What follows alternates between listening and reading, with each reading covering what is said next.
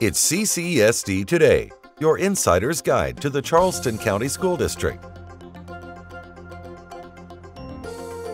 This week, we take an inside look at R.B. Stall High School. Hear from the principal, Kim Wilson. And learn about the Capturing Kids' Hearts and personalized learning programs. CCSD Today starts right now. We're here at Stall High School, home of the Warriors. During this show, you'll get to learn all about the great things going on, talking with Principal Wilson, and learning about the exciting opportunities that his students are afforded. I'm Erica Taylor. You're watching CCSD Today. Stay tuned. I'm Jenna Dewan Tatum. I'm Julia Ormond. I'm Mädchen Amick. And I'm Rachel Boston. Every two minutes, a woman is diagnosed with breast cancer. Breast cancer will claim over 39,000 lives this year, but that won't be me. Or me. I won't let that be me. The end of breast cancer starts with me. And you. And you. And you. Go to mylifetime.com to get informed and involved. Brought to you by Cruise Chevy. You've got a friend in the car business. Welcome to another edition of CCSD Today. I'm your host, Erica Taylor, and joining me at Warrior Country is Principal Kim Wilson. We're at Stall High School. Thank you for joining us today. Thank you for having us, Erica. Well, Mr. Wilson, let's talk about Stall. You all are doing such great things. Um, share what you'd like. Oh, well, um, first of all, uh, it is just such an honor to uh, be a principal at uh, Stall High School. Right. Uh, what I've found over here is several things. One is the community is so supportive of everything we do here. I've never had a business, never had a community member who we've asked for help that Right. didn't want to help.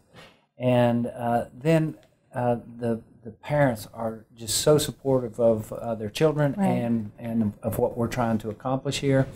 And then I think the most uh, rewarding thing is how appreciative the kids are of uh, the things that we have put in place to try to uh, better their future and, and broaden their horizons. Great. So this is your sixth year, Sixth year, and you know and you're still smiling. Yeah, and you know this is my 42nd year in education, and You- uh, so you started when you were three, four. something like that. uh, I was a young graduate, uh, but anyway, um, I have been, you know, prior to coming here, I was at another school for 25 years in Charleston County, and this just kind of has rejuvenated me being here and being able to try new things and and just be so uh, welcomed by the community and the faculty and staff. It's just been a great great setting. You have a very uh, diverse campus here, um, from um, demographic to um, racial, socioeconomic. Um, tell me how that's helped you build such a great student culture. Right. Our um, uh, diversity is made up of uh, 25% uh, Hispanic, and that has grown from the first year I was here uh, from 12% to 25% this year. So it is growing and continues to grow, and we welcome that. And then we have about 12% uh, white, and then the rest African American. So we have the most diverse uh, population in Charleston County as far as a high school goes. And we actually have half of the ESOL students, uh, high school age students, at this school. And so uh, that creates an environment where kids can share their culture and share their experiences from all over the world.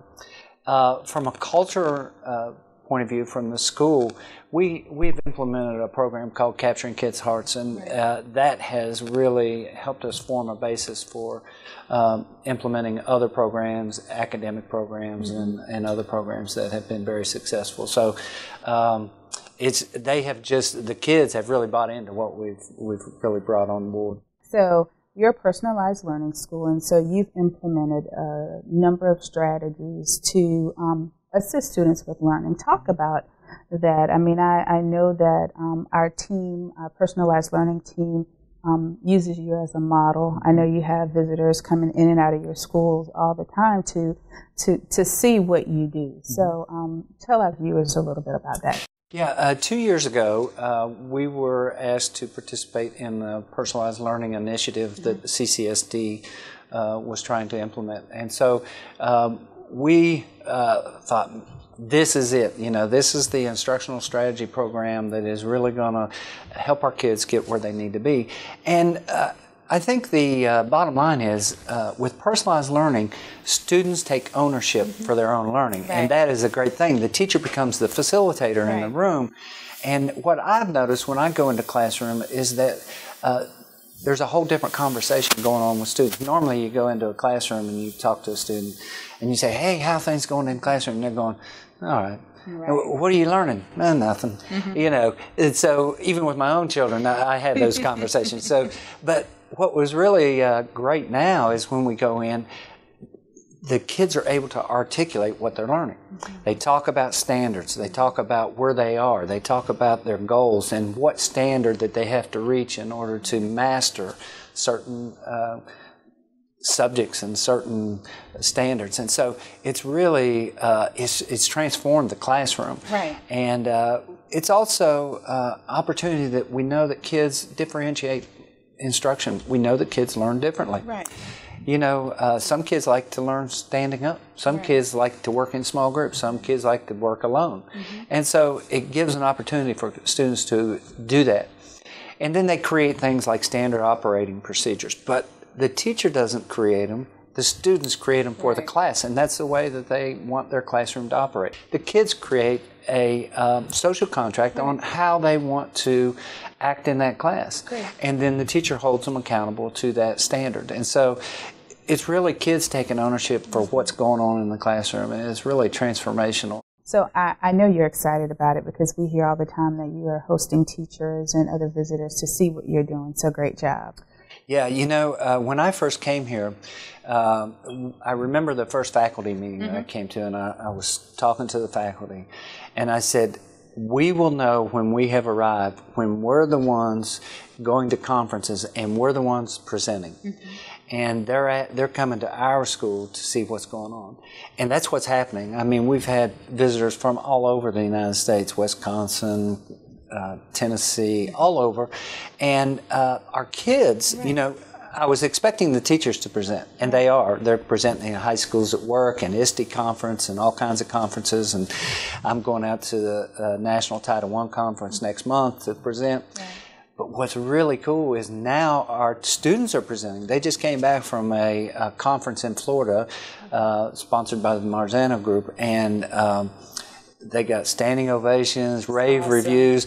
Uh, I got the second day they were there. I got an email from uh, a, an attendee right. who happens to work for another school district around this area, saying wow, I loved your kids, and can I come over and see what's happening at Stall? And I'm like, yeah, come on over. So it's, it's just been great. You you must be really proud of, of what you're doing and what your students are doing. I think that's a really good way to end is to talk about some of the people who have gone through this. Uh, Tim Scott, he has such a wonderful story. Right. But you know, I, I think back to the first time I met uh, Senator Scott. He came to our school mm-hmm.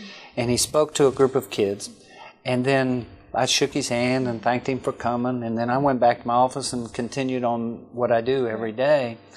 And uh, so uh, later on that day, it was like two o'clock. I was getting ready to go out and uh, go to a classroom, and I see Senator Scott. Now he's been here since eight o'clock that morning. I know he has a lot to do on his right. plate, but after he spoke, he felt. and uh, he just felt like he needed to stay and, and he talked with kids. He went into classrooms and uh, I didn't even know he was here. I felt kind of bad, but uh, he didn't. He loved it. He loved every minute. But to be able to have someone like that come in and share their story, these kids, it provides a hope. It provides dreams. You know that they can they can make that happen too, and so that has just been a, a great support system, and we have all kinds of people who do that. Well, thank you so much for joining us. We're excited about today's show. Stay tuned. We'll be back with more about Stall High School when we return.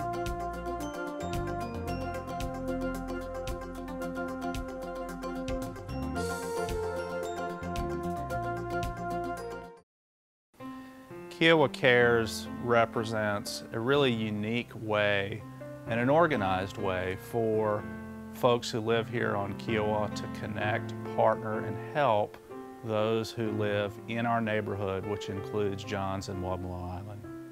And the idea was that many, many people who live on Kiawah very generously work as individuals in the community.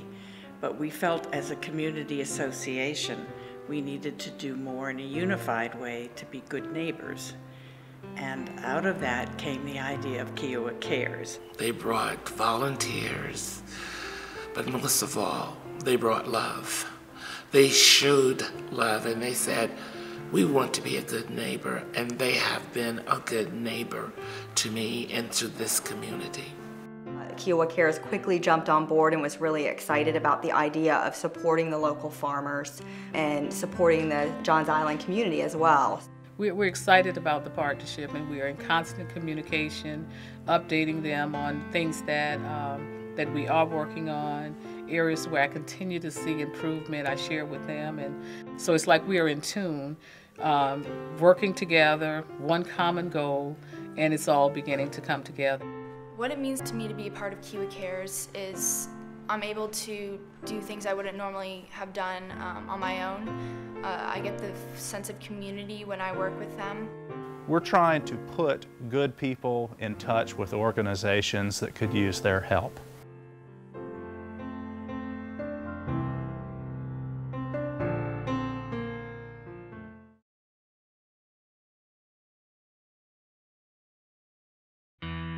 The law firm of Young Clement Rivers has been serving the Charleston Low Country since 1968. All of the lawyers of Young Clement Rivers are proud to be partners with the Charleston County School District. We're convinced that the hard work of the school district employees and staff prepares our young people to face the challenges of the future. We look forward to continuing our partnership and in helping the school district to meet its standard of excellence.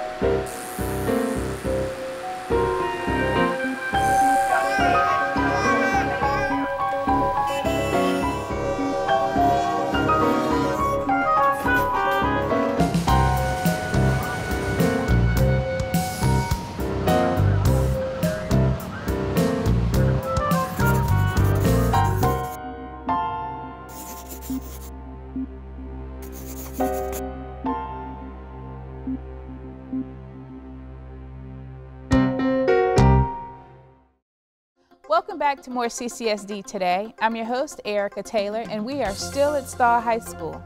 Joining me now is Ms. Barbara Grigsby, who's a teacher that supports the Capturing Kids' Hearts program. Thank you for joining us. Thank you for having me.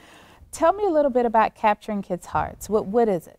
Capturing Kids' Hearts is a program that we've initiated here at Stall High School okay. in order to create relationships and build relationships between the staff and the students. Okay. Tell me a little bit about the activities um, with the Capturing Kids' Hearts program. What, what does that look like? How do the teachers and students engage each other? Students and teachers build relationships with each other. Uh, we start by greeting our students at the door each morning with a handshake. Uh, within the classroom, there is a person that we've, we've initiated as a greeter. Mm -hmm. So that person greets individuals who visit the classroom. We have a social contract in our classrooms where teachers and students uh, come to an agreement as to how they want to be treated by the teacher, mm -hmm. how students want to be treated by the, each other, mm -hmm. and it just creates a great atmosphere within the classroom. How long has Stall been a part of this program? We've been a part of this program since 2011. Okay. And so have you seen a difference in students and um, teachers' interaction with each other? I've not only seen difference in students and teachers' interaction with each other, our students interact with guests that enter our building. Uh, in the past, we had students that weren't very friendly or, let's say, inviting to visitors within the school. So now, when visitors come, our students greet our visitors. They initiate conversation with our visitors with a handshake, uh, eye contact. Right. So it's been very, very beneficial for students as well as the staff here. So um, the program uh, teaches the, the, those soft skills that students need when they leave high school and go look for jobs or go into post-secondary education opportunities. Exactly. That's awesome. And so the teachers that um, help implement the program, um, Tell me a little bit about them, and um, I think they, they're called Process Champions. There are a group of us that are called Process Champions, and we've been trained.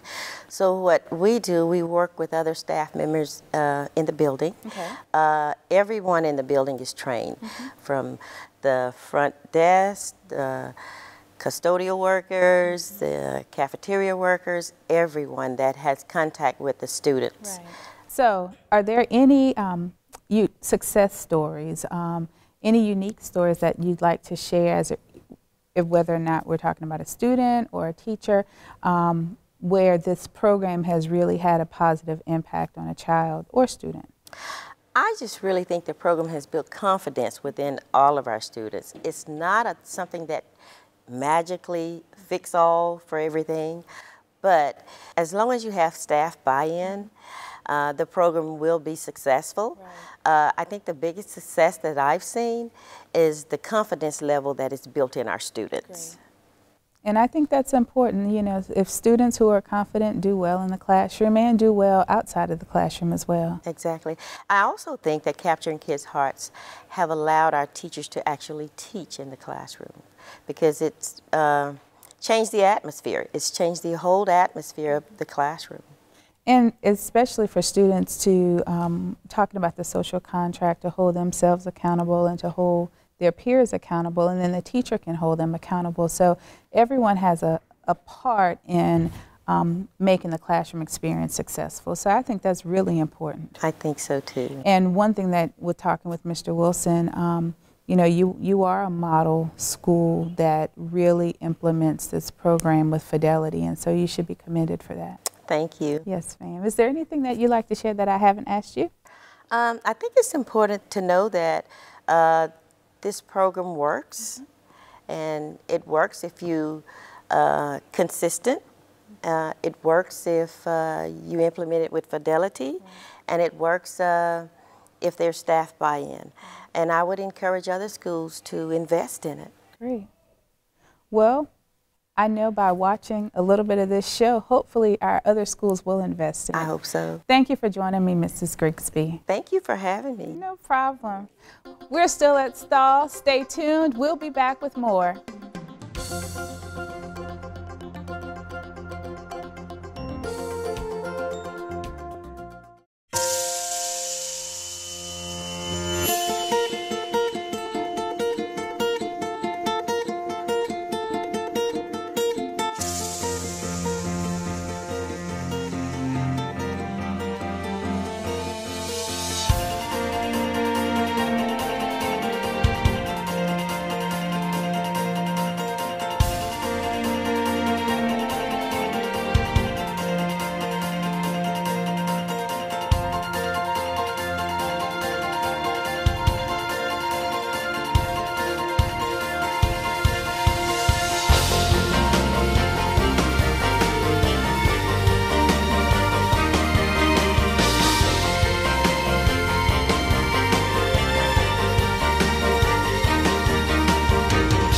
Kids learn it at their own pace, to remediate on their own, see their own results, celebrate their successes right there.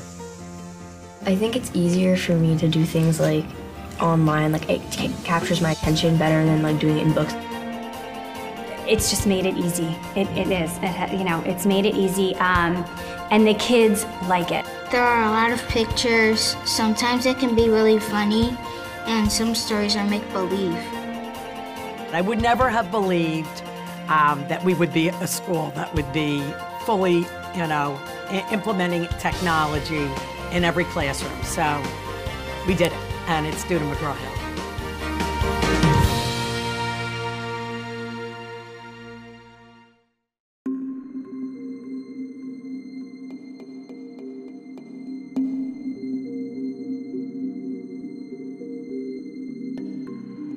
Some problems are tough. Reaching your customers shouldn't be. Blue Wave and Comcast have the creative edge to make you stand out from the crowd and connect with your customers. Whether you need a commercial for television, video for your website, or a custom made website, we are the easy solution for every advertising problem. I'm Jenna Dewan Tatum. I'm Julia Ormond. I'm Mädchen Amick. And I'm Rachel Boston. Every two minutes, a woman is diagnosed with breast cancer. Breast cancer will claim over 39,000 lives this year. But that won't be me. Or me. I won't let that be me. The end of breast cancer starts with me. And you. And you. And you. Go to mylifetime.com to get informed and involved. Brought to you by Cruise Subaru of Charleston. You've got a friend in the car business. We're back with more CCSD today. I'm your host, Erica Taylor, and now joining me for today's show is Miss Brittany Lester, who's a math teacher here at Stall High School, but she also does uh, something special, and that me and that special thing that she does is to integrate personalized learning into her classroom. Thank you for joining the show. No problem. So tell me about personalized learning and tell the viewers because I know we talk about it and they think it's an iPad, but it's more to that. What is it? Definitely. So personalized learning um, kind of goes along. We also have Capturing Kids' Hearts here at Stall. Right. Um, both parts, in my mind, put together what we want the kids to become when they're adults. So it's creating a self-managing group based on behavior, mm-hmm. and then personalized learning piece comes in to create um, self-managing group academically. So it's that behavior piece, that academic piece, and then they go together. And so, give me some um, some examples. If if someone really wanted to know what that looked like, can you break it down just a little bit? Absolutely. So, in a traditional classroom, mm-hmm. um, basically, it's the teacher saying, "This is when you're going to learn the material. You can't learn it any other time. It's going to be this time and this time only." Right. But in a personalized learning classroom, it's kind of the idea where okay, so we may be teaching equations today, right. but if you're not ready for equations and you might get it two months later, I'm still kind of dinging you for not knowing it when I said it was time to know it. Right. So that doesn't make any sense um, right. for different kids because we all have different backgrounds coming from different nine years of schooling. So it's basically just the idea of kids knowing things when it's their time to know them, uh, moving at their own pace to fill in their own gaps, right. and and to kind of move along that way. It's all for benefiting the kids. Right. So whatever we can do to get them to learn at their time, and for them to feel confident that they've mastered all of the material, that's that's the game plan. How how is the assessment? Done and what does that look like mm-hmm. and that can look different in several different teachers classrooms right. um, in my classroom formative assessments they can take as many times as they would like so my whole goal we just keep at the front of our mind um, me and miss leach my teammate um, that our goal is for them to learn the material and to show us that they have learned it not an a on the assessment so those if they take a quiz and they fail it, what's the point of putting an F in the grade book? No, right. I want them to go back, learn what I wanted them to learn in the first place, because right. that's the whole point, right. and then show me that they learned it again. So it's those summative assessments at the end, those unit assessments that they cannot go back and redo. But at that point, when they're taking those summative assessments, they are confident that they learned everything previous because they've scored exceeds mastery or mastery on all of those formative assessments there. How does that translate with, with parents? I mean, are parents especially the students that you have in your class? Are, are they um, feel comfortable and do they understand how their students are learning and um, knowing that they are learning at the rate that they should be learning it? Mm-hmm.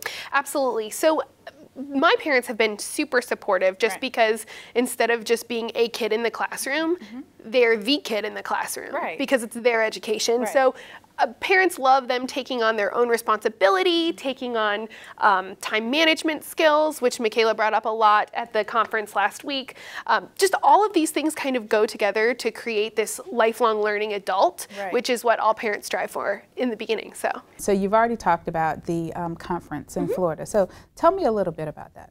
So the conference was a little bit of a different experience for me. Um, it was iNACOL, and it's a Marzano conference and RISC, um, the Reinventing Schools Coalition. They mm-hmm. kind of put it on together. Uh, it was a blended learning conference, online and blended learning. So there were some students there who did total online classes, some students there who did online classes three days a week, um, and then our students there that do the personalized learning, kind of the blended situation. So it was all a lot of different perspectives for a lot of different reasons. It's very cool, very cool. And Stall was chosen to attend? Yes, okay. yes, five of our students were chosen to attend for out of the whole state of South Carolina. And now I have an opportunity to speak with another personalized learning teacher, Miss Chloe Leach. She's a math teacher here and she supports what our students do as it relates to personalized learning. Thank you for joining us. Of course, thank you for having me. So I know you supported the students that went to Florida. Mm-hmm. I know they did a fantastic job. They did. So tell me about it. Sure. So we were able to take five of our students here. We actually did a little bit of a tryout. Mm-hmm. We, Miss Lester and myself, we nominated 10 students we thought would um, articulate the best what personalized learning is. Right. And they tried out in front of some of our district um, personalized learning staff, and they narrowed it down to the best five students, and that was based on stage presence and who can articulate best and who gets the whole entire idea of personalized learning. Um, so those five students, we got to travel. We just got back yesterday. We were there Sunday to Wednesday in Orlando, Florida. So iNACOL is a combination of what Miss Lester was saying is blended mm-hmm. learning and online learning. Okay. So personalized learning sort of falls under the blended learning. Right. Um, it's just a different style. It's innovative, it's new, it's fresh, and it meets the students exactly where they are. So the first day, Monday, um, all five of the students got to speak on a panel, and our children just blew the roof off. They spoke so well, very eloquently, and they just, um, it, this wasn't scripted. They Right. just spoke from the heart and just drove home exactly what personalized learning is. And um, at the end, they had people from the audience ask questions, and I mean, they just did such a wonderful job. They really made people understand why it works. That's awesome. It really was. And then Tuesday, to follow it up, we had um, two of the students from the five who were on, who were the keynote speakers Wow. for 3,000 people. That's awesome. Unbelievable. And they just weren't afraid to talk at all. They Right. took the mic, they took charge, and just answered as honestly as they could, and they got a standing ovation from 3,000 people. That is awesome. And like, like I shared with Miss Lester, we, we got word at how Mhm. well they did, but um, I had no idea that um, you know they presented in front of 3,000 people. Yeah, it I mean, and it's a big deal for students to present anyway at Anyway, a conference. mhm. So for um, our students to be able to do that, that's awesome, and it's a testament to the work that you as teachers do to prepare them um, for these opportunities. So kudos to you Well, too. thank you so much. We are really proud of them. They, they did a phenomenal job. Um, is there anything that um, else that I, that you'd like to share as it relates to personalized learning? Sure. Um, I, Miss Lester did a wonderful job at talking about some of the misconceptions of personalized learning. Right. I think the biggest thing for me is being transparent 100% with everything that you do. Um, when we returned from our trip yesterday and we saw some of our, you know, sub notes, how the kids were when we weren't here, we always try and address everything head on and we have conversations and we're so open and honest with the kids Right. because it's important to us and to the students that they know that we're in this together Right. and we're going to talk about everything and we're going to see what does it look like, what does it not look like, and let's figure it out how it works for our classroom. So transparency is 100% the key to making personalized learning successful. Awesome. Thank you for taking time to talk with Of me. Of course, thank you for having me. No problem. So we've talked about the conference. Now you have an opportunity to hear from the students who actually presented to 3,000 participants. I'm excited to hear. Stay tuned. It was kind of nerve wracking because, like, oh, I'm speaking in front of a lot of people in another state. But um, it was really cool. We all um, worked together to help each other. We practiced how we would answer the questions. I actually spoke from my heart and uh, like I felt like I was acting. Well, the conference I went in with like a positive attitude, a growth mindset, you can say, and I just thought the best because I was a little nervous, and um, I just started answering the questions to the best of my ability. Later we went to um, the Magic Kingdom, downtown Disney, everything, and it was like uh, one of those one in a lifetime things you get to do. It was really nice that they gave us tickets to go to Magic Kingdom. That was really nice. It was a really fun trip. It was a great experience. If I got the opportunity to do it again, I would definitely do it again. I'm Jenna Dewan Tatum. I'm Julia Ormond. I'm Mädchen Amick. And I'm Rachel Boston. Every two minutes, a woman is diagnosed with breast cancer. Breast cancer will claim over 39,000 lives this year, but that won't be me or me. I won't let that be me. The end of breast cancer starts with me And you. and you and you. Go to mylifetime.com to get informed and involved. Locally sponsored by Ford. Ford is in the race for the cure. The law firm of Young Clement Rivers has been serving the Charleston Low Country since 1968. All of the lawyers of Young Clement Rivers are proud to be partners with the Charleston County School District. We're convinced that the hard work of the school district employees and staff prepares our young people to face the challenges of the future. We look forward to continuing our partnership and in helping the school district to meet its standard of excellence. Here's a question for you. What does this look like? It may look like a blank screen, but it's really an opportunity for you to reach your customers. With a great television commercial, video for your website, or website design, Comcast and Blue Wave Productions can create the right message to get you noticed. Call today and take the opportunity to make your business stand out from the crowd. So there you have it, another exciting show. We enjoy being able to provide you the opportunity to learn all about the great things that our schools have to offer, and I hope you've been excited about learning about Stall. It's been a pleasure being your host. I'm Erica Taylor, and please stay tuned for next week, CCSD Today.